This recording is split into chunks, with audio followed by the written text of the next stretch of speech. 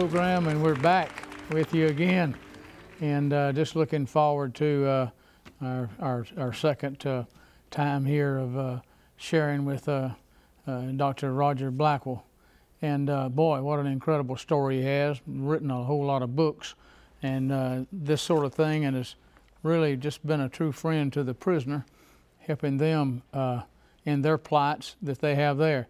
Let me go to a scripture reference, and then then we'll get close to going with uh, Roger in the interview.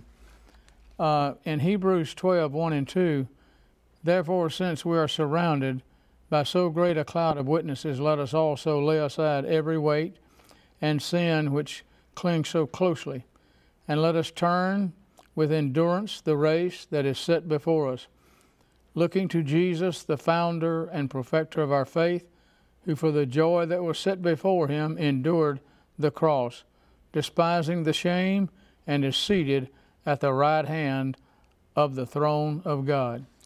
We serve a mighty Savior, and He paid the price so that we could have freedom, my friend, and that we could uh, enjoy going behind the curtain when the veil was rent from top to bottom with a freedom of access into the most holy place to be able to talk to the Heavenly Father.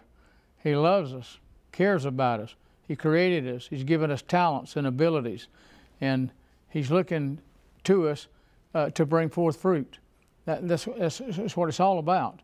We surrendered our lives to the living God, washed in the eternal blood of the Lamb of Calvary.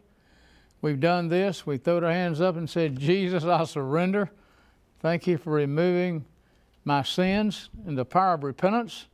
I turn things loose, the power of release, and then the ability to just be absolutely overrun by the Holy Spirit to lead and guide our lives. Now, we fall short of the glory. I probably got a whole lot more failures than I have success stories, I can tell you.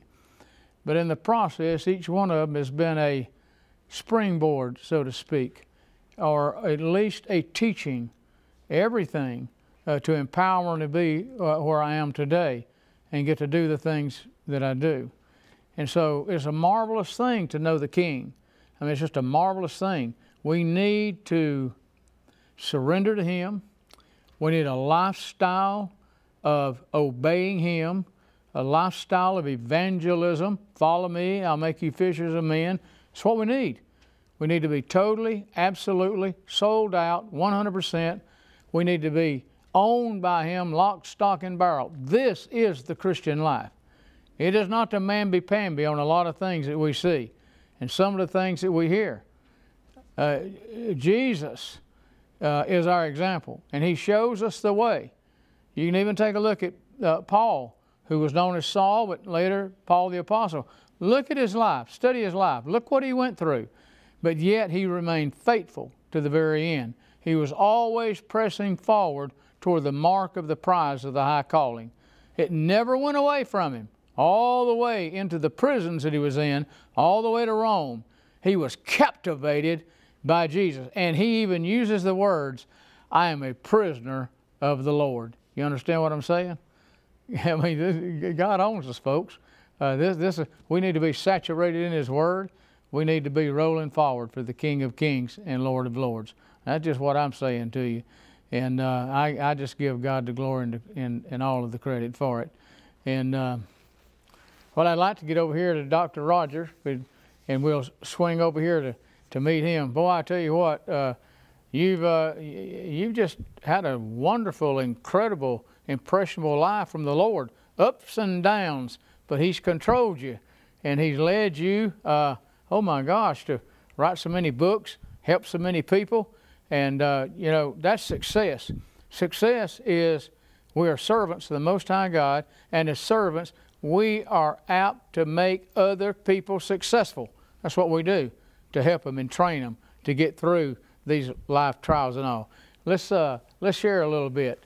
Uh, you, uh, you talk about the, uh, boy, this is, a, this is a great question. It, uh, uh, the life, about a life of success, of diligence, and work skills.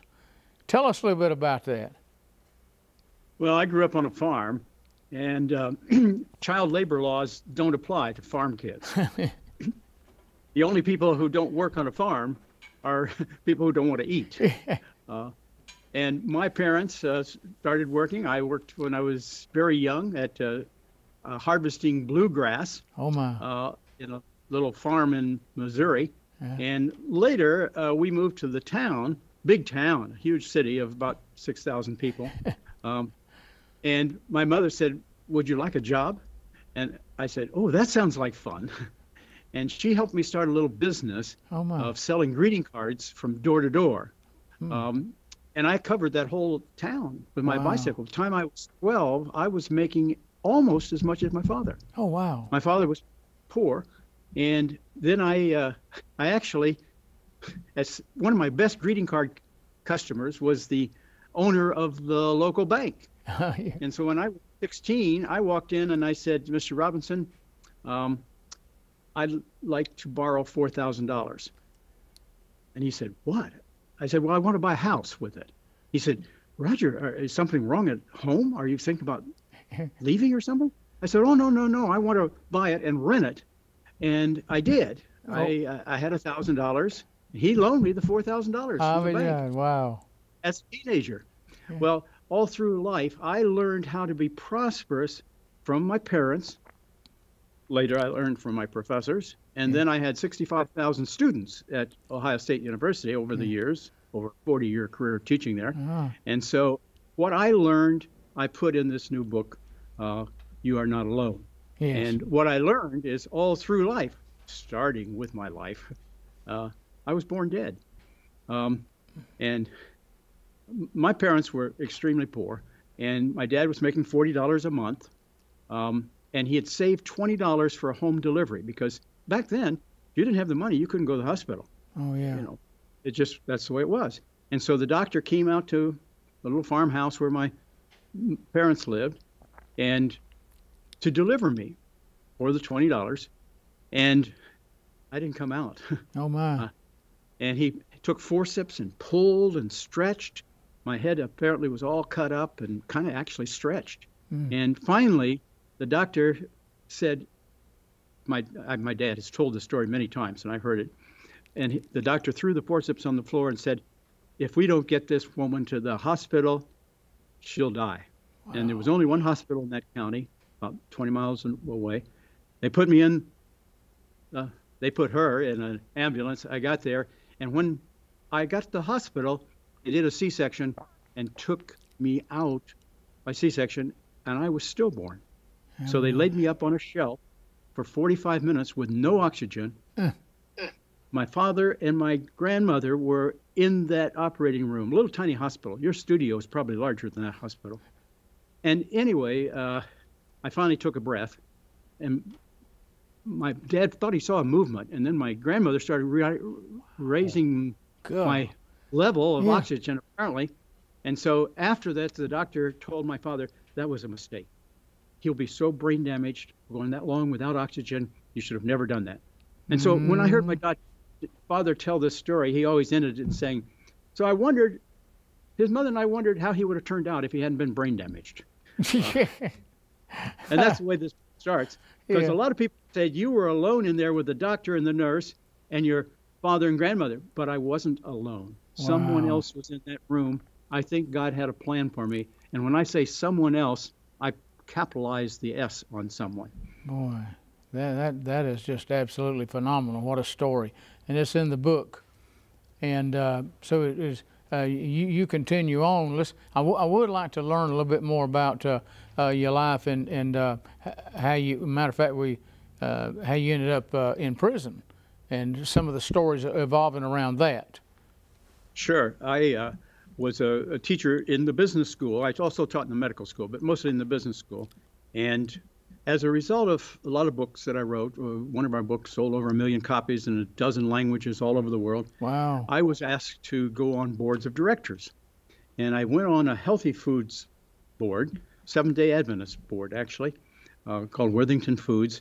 And once we were discussing possible sale to Kellogg.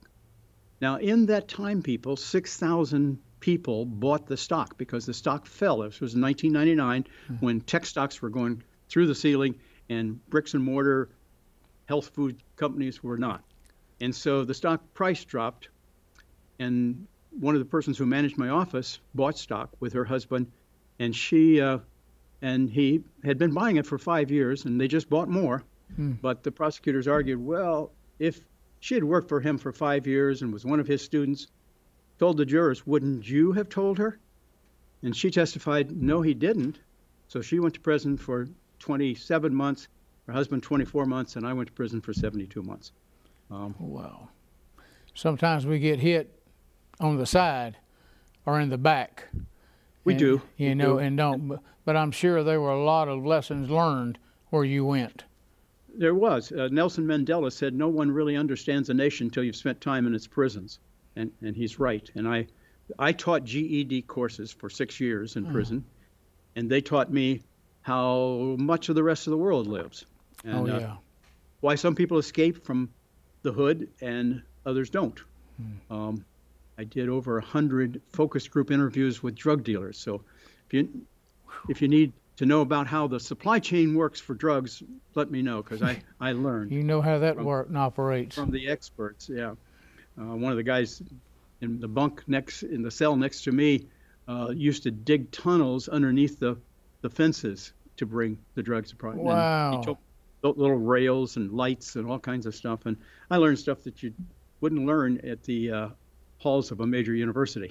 Well, I can understand that. I can see that too.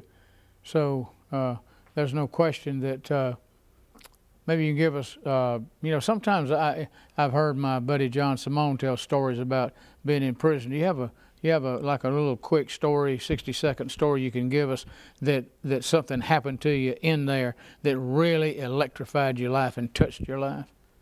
Well, I think one of the things that illustrates that you are not alone, which is the theme of this book, was two days after I went in. Now, I had been in a Bible study for years at my local church, uh, Upper Arlington Lutheran Church, and that Bible study we rotated teaching, so the we all taught.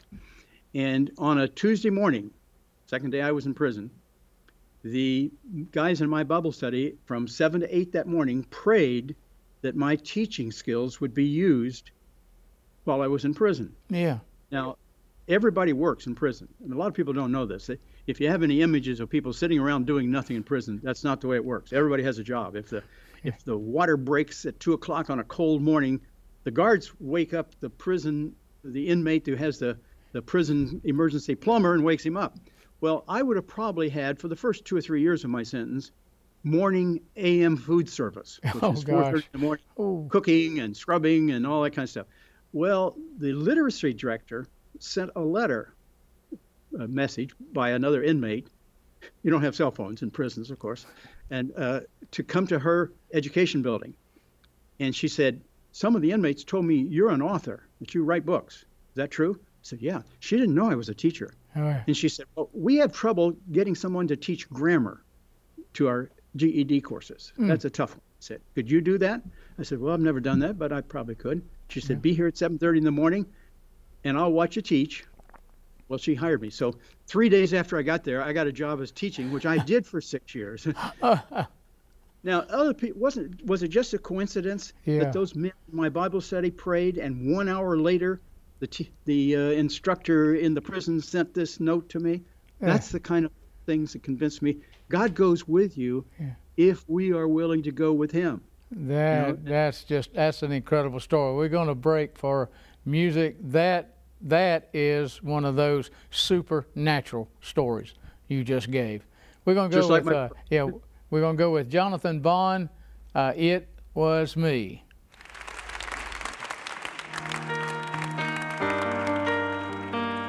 Maybe you're wondering why Jesus did all that he has done. Why did he leave there coming here to go through all that pain? Here's why. I heard about a man named Jesus who left his home up above to come to this world below, spreading hope, peace, and love. I wondered why he came so far from where he grew up. Then I heard a preacher say he came for me, just for me. It was me.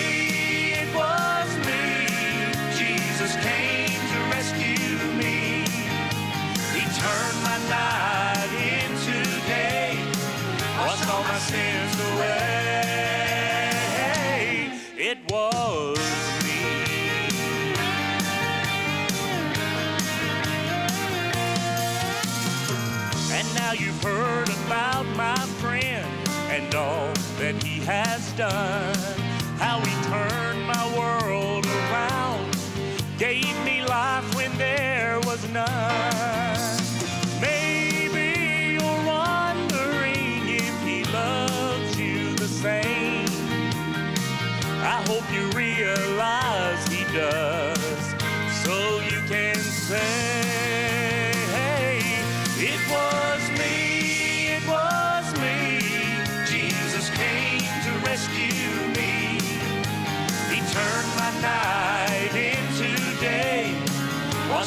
sins away. It was me, it was me. Jesus came to rescue me. He turned my night into day, washed all my sins away.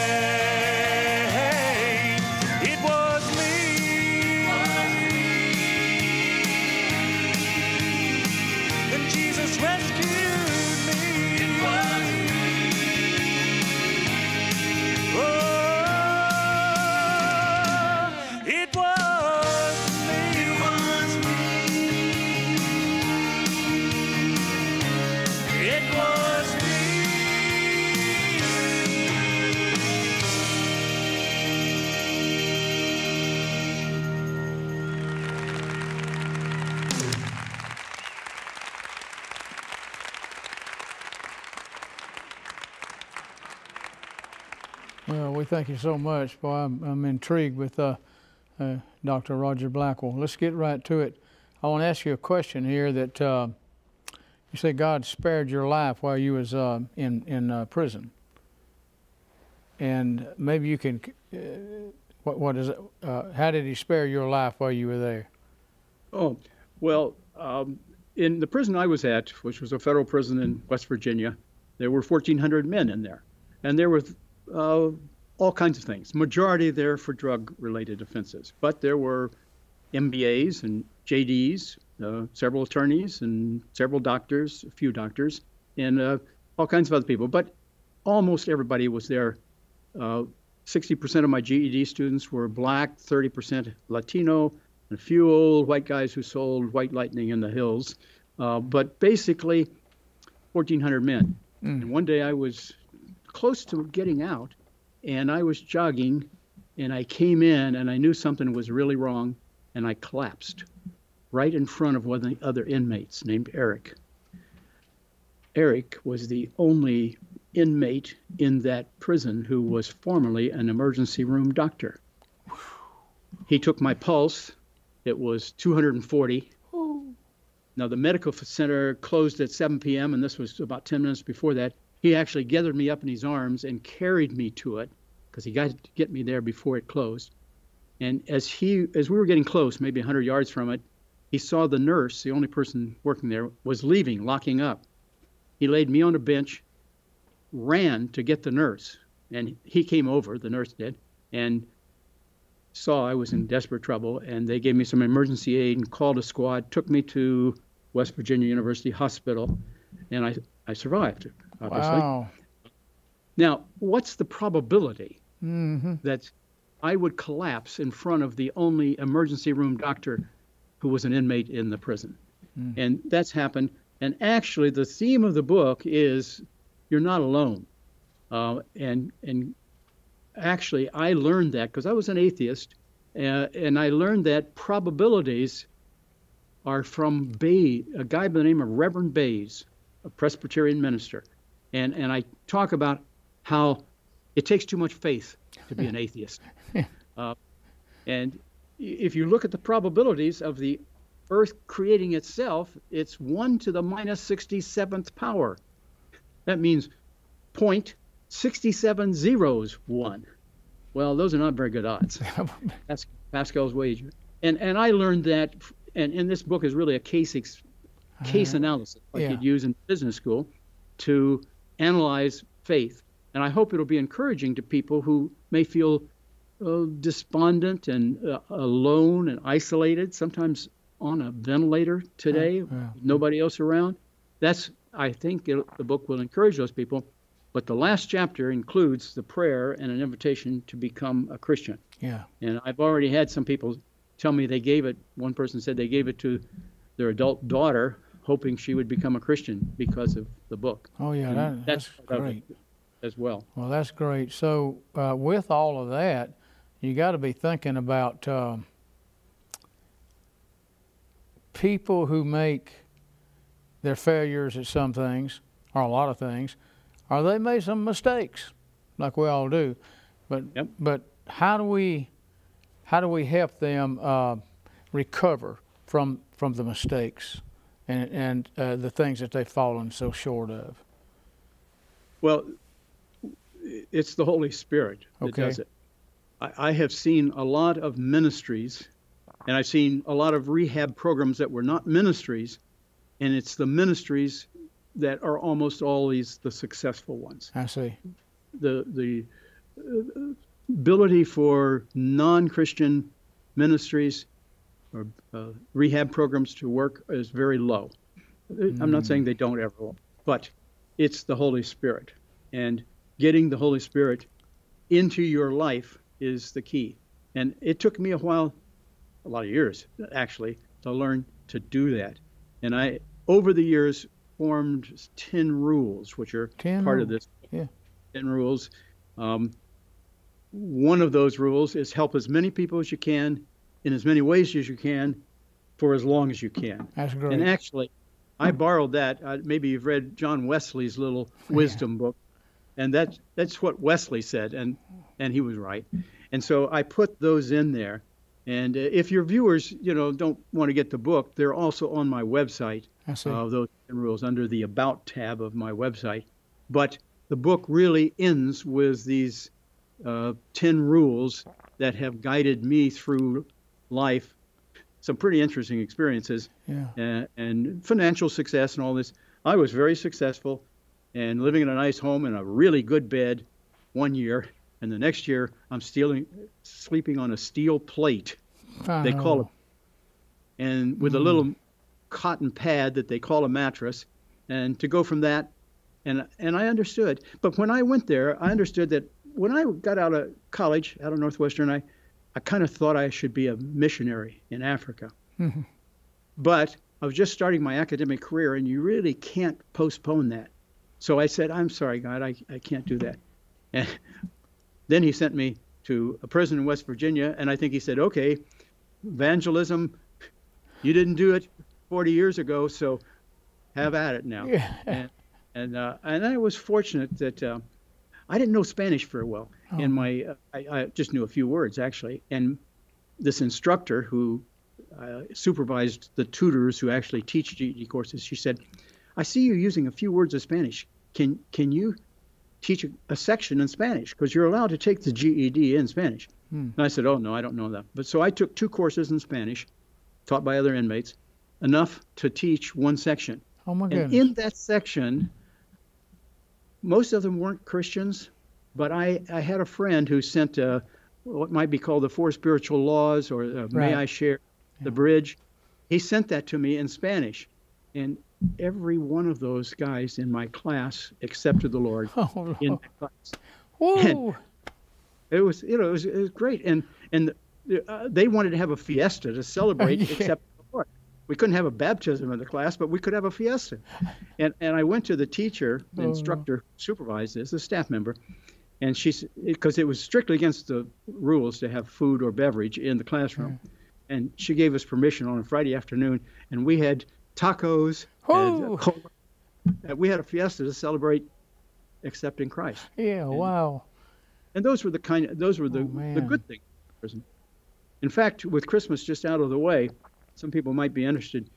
There is there, one of the most desolate times in prison is Christmas, Yeah. or any holidays, because you want to be with family. My first Christmas I was sitting in the quiet room all by myself, thinking about Christmases past and so forth. And a couple guys knocked on the door and said, Hey, Blackwell, we got a guy who wants to become a Christian, but we don't know how to do that. Will you tell him? So he comes in, and I lead this guy to the Lord that I didn't even know. You know, Oh, usually you have pre-evangelism, and it takes time and all.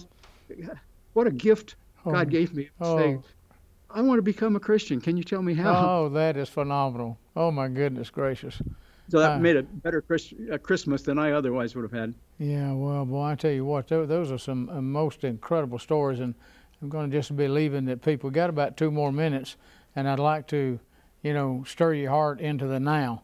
You know, uh, now how how what are you doing now uh, that we can kind of jump on that thing and be a part of what you're doing. Well, as I say in the book, I was not allowed to go back to the university and teach um, because they didn't. The dean said she didn't want a felon in the classroom. Yeah. Uh, but Wheaton College invited me, and I taught there, and some other places too. Mm. And I started teaching business seminars. And today I teach people how to start a business because Absolutely. I taught actually in prison a course on how to get a job when you get out. And there were other business people there, and we all taught that course. And a lot of them would say, Well, Blackwell, nobody's going to hire me. I got a felony conviction. And I'd say, Well, that's probably true. Uh, so why don't you hire yourself? They said, What do you mean by that? I said, Start your own business. I mean, if you mow lawns, you can make $100,000 a year. Yeah. If you have your own business or paint houses or all kinds of things. oh yeah. And so I started this book on how to do that. Well, now I, I wrote a, a book, which is also by Union Hill, the same publisher as, as the new one, uh, on how to start and grow businesses. And I, I give lectures all over the country, most of them by Zoom or Skype today, but Right. uh, some of them some of them in person. I was in Savannah, Georgia, and I'm scheduled to be in Alabama in May. We'll see. I hope that's Yeah. uh, in person by then. Um, but uh, that's what I do now, and uh, have a really good church that I go to, and That's and, awesome. uh, That's just I absolutely. the story about how I found a wife, and I'd been married before. Sometimes God saves the best for last. I found He out. He does. We're, uh, we're, we're just asking God to bless you. We're asking Lord to take you to the nth degree uh, to what He has the plan and purpose for your life. Because I can tell He's got His hand on you. We thank you so much for being a part of the program and hope we can do it again sometime. Uh, you're a very you. interesting man uh, to listen to. God bless you.